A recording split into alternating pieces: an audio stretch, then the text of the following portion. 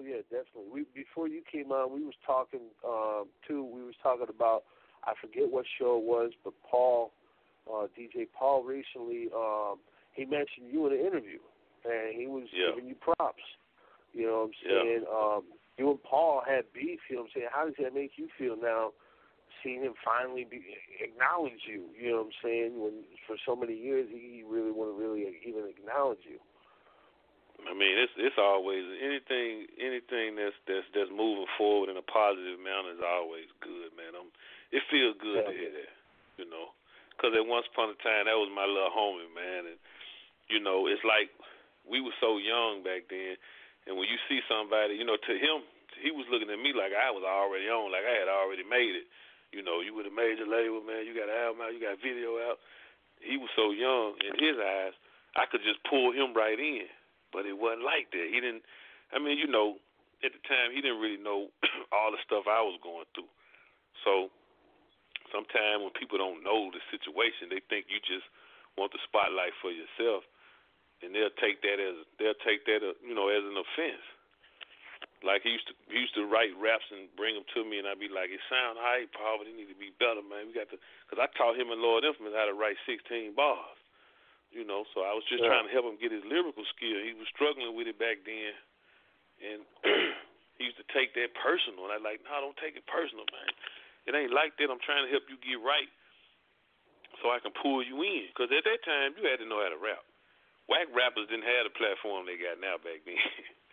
you couldn't bring no whack rapper, you know what I'm saying, in and just expect people to embrace them like that. And they they weren't developed yet. But over time, they I mean, look what look how they turned out though. Had I had I would have pulled them in, it, they probably would have took a whole another route.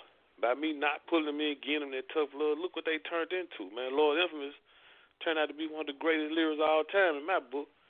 And Paul became yeah. one of the best CEOs in the South. You know, far as far as you know, taking his label and the groups and stuff to the level that he took them to. You know, he's a he's a very good businessman. when it comes to running a label and stuff like that. So, I mean, I guess their motivation yeah. was to prove me wrong. That may have been what propelled them to the level that they got to. Yeah, yeah, exactly. You know, man. I was little, little things like that could alter everything. You know what I'm saying? And, yeah. And and like you said too, man, he was super fucking young. You were super young. At that point in time, you know what I'm saying, he might not have understood what was really going on. You know what I'm yeah. saying? And, yeah. and uh you know.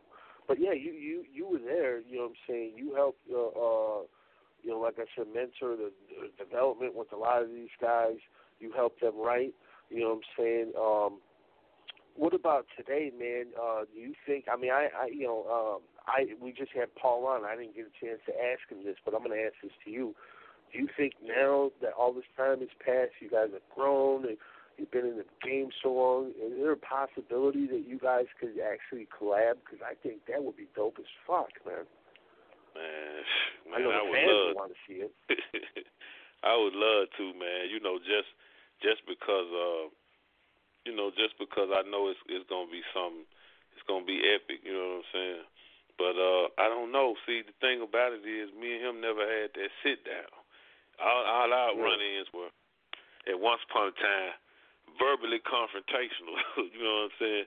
The one time it got serious when we bumped into Juicy J at Ardent Studios, and uh, I had a homie with me, and we was already in a bad mood anyway. We had been into it with some more people, and we get up there, and the guy comes out and says, "Hey man, y'all hold up, we got three six mafia back here." And we looking at each other like, "Oh shit, here it go again."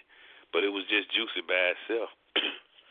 so he come out, and you know we exchange words. And, you know, it was crazy once upon a time, man. But I mean, that's growth. If if we could sit down and chop it up in that way, right. you know, because people can say, even though you can give you can give a person props in a radio interview, and I'm thankful for that. Yeah.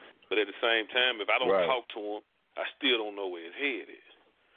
You know exactly. what I tried to reach out several times, man, but you know, you have to. You have to I right. guess when he ready, we'll have that conversation. I just hope it don't be too right. late. You know, you know, you know, it's crazy that you say that though, Pat. Is uh, like when we had Paul on the show uh once before, y'all had uh he did the shit with uh with Zerk to lock him in the trunk. He didn't even know you was in the video. You know what I'm I saying? know. Like I'm like the Oh. video out, that shit, and the shit was bumping. He didn't even recognize it was you. And like